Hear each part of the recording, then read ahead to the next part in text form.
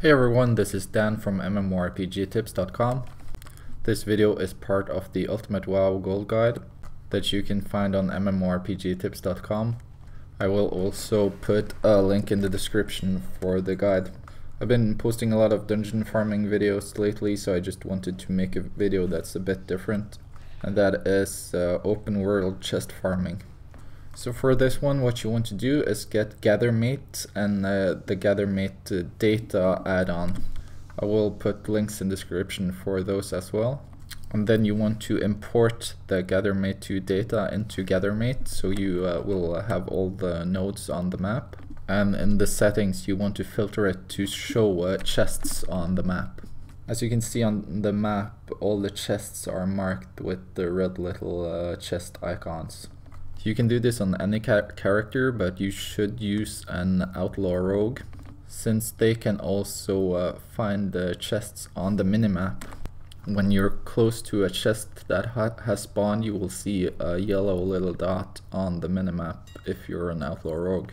I don't have a rogue, but I just use class trial characters, those work fine as well.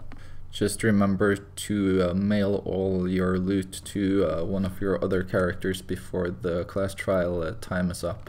The best zones for farming chests are in Outland and in Northrend. For me, some zones seems to be better than others. Like in Hellfire Peninsula, I uh, never seem to find any chests. But every time I go here to Zangarmarsh, I find uh, usually find like two to four chests every time. But what I ideally like to do is that I like to fly over uh, the whole of Outland to every location on the entire continent. It actually doesn't uh, take that as much time as it might seem. And then just delete everything there and you can do the same in Northrend. Just uh, hit up the entire continent and uh, try to uh, pick up all the all the chests that have spawned. You will get a rare item from every chest. Think so at least. I have. Uh, I think I have gotten a rare item from every single chest uh, that I've looted in both those uh, continents. Of course, some of them aren't uh, worth uh, as much as others. Many are only worth a few hundred but you can get valuable items that are worth uh, a lot, uh, ten, tens of thousands. Many of these items also have a pretty high sell rate and the competition on the auction house uh, for these items is probably not as high as uh, some of the transmog that you uh, that's common to farm in uh, in dun legacy dungeons. I also just think this is a fun way to farm uh, once in a while to kind of break up the monotony of uh, farming dungeons.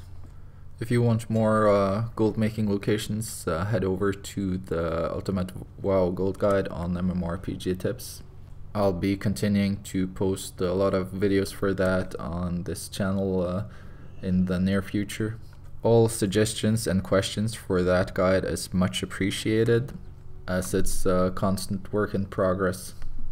Likes, dislikes, comments, and subscribes on the YouTube channel is also much appreciated. So get your rogue, head over to Northrend or Outland and uh, pick up some chests for some loot. And I hope you get some good stuff. And I will see you in the next one. Bye.